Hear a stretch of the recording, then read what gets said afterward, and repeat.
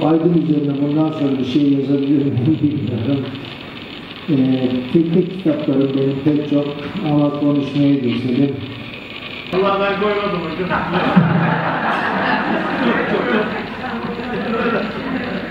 Yani Yerle bir olduğunu gördüm. Neden? Rezonansa gelmiş. Rezonansa gelmiş. Yapı sağlam. Deprem yönetmeliğini görmüş ama rezonansa göre gelmiş, yıkılmış.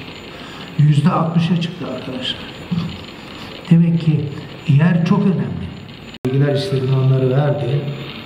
O bilgiler doğrultusunda Aydın Efeler'de çok kaba söylüyorum yapı yüksekliği altı katı geçmemesi lazım. 5 kilometre ileriye kadar borular getiriyorlar. Yani onun amacı ne? Şey buhar taşıyor.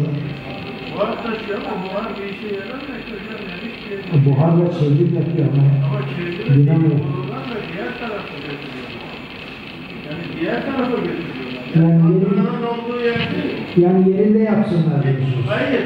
Yani ne amaçla o borular tarlaların içerisinden gidiyor, geliyor. Bir sürü yere gidiyor. Bir sürü alan tarımda kullanılmaz hale geliyor.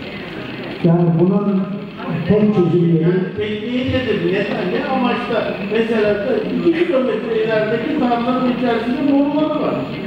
Yani kimisinin altından geçiyorsunuz, kimisinin üstünden geçiyorsunuz. Yani sağ tarafı tarafta, o öbür tarafta yani. O tarım alanlarına da kullanılmasına da zarar veriyor. aynı Bir de ben başkanın sorusuyla, başkanın sorusuna ben ilave olarak çok anlaşılmadı. Benim sormak istediğim bir soru da var.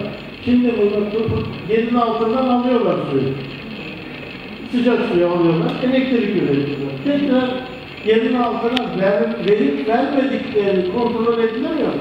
Ediliyor. Peki ne yapılıyor hocam bu? Yapılıyor bazıları. Hocam yok bak hidrojen sülfür zehirli gaz salıyorlar.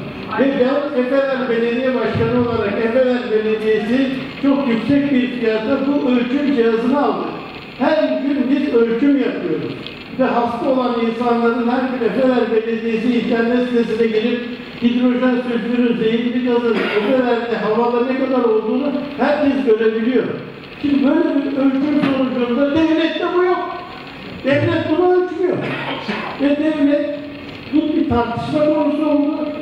Ve jeotermal santrali işleten şirketlerin ölçümlerini kabul ediyor devlet. Kendisi ölçmüyor. Ben ölçüyorum. Seninki diyorlar şey değil. Akredite değil, seninkini kabul etmiyoruz diyor. Ya kardeşim, 20 miligram olduğu zaman hidrojen sülfür zehirli bir gaz. Önüme götürüyor insanları. 380 oluyor, 420 oluyor, 240 inanmazsınız hocam hepsi burada. Verdiler bu ölçümleri. Seninki akredite değil. Ya aynı cihaz. O şirketler ölçünce doğru, bizim şirketinki ölçünce yanlış. Onların ölçümüne ne diyor başkan? Nerede başkan? Ne diyor başkan? Vermediler diyor. Ya insanların hayatıyla ilgili olan bir konuda devletin sorunu insanların yaşantısını kolaylaştırmaktır, Kesinlikle. güzelleştirmektir.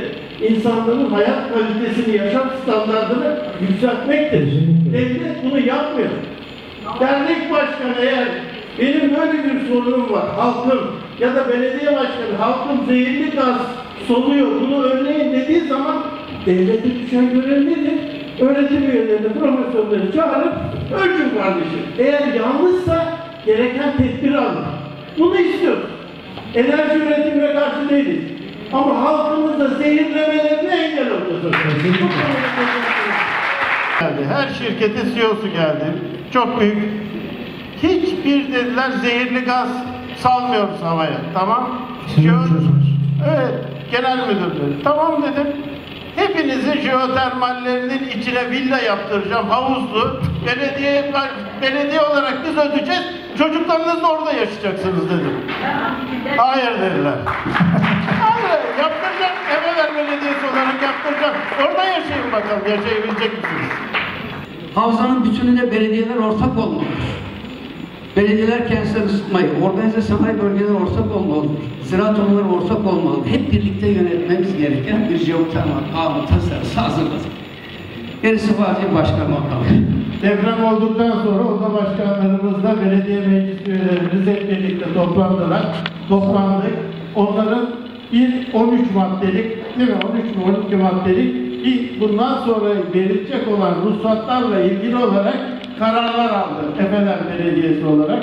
Bundan sonra yapılacak olan inşaatlarda neler isteneceğiyle ilgili o kararları belediye meclisimiz uyguluyor, Efeler Belediyesi uyguluyor. O nedenle rahat olmak İnşaat yapıyorsa, uygulayabilirse odaları ne yapmak istiyorsa, ne doğruysa, bilim neyi gerektiriyorsa onu yapacağız. Ve Güzelhisar Mahallesi ile Kurtuluş Mahallesi'ne de bir dakika ben gördüm. İkisinde de bölgesel, kentsel dönüşüm yapacağız. Meclis olarak da karar aldık arkadaşlar. Merak etmeyin. Çok sağ olun. Çok sağ olun. Buradayım. Buradayım.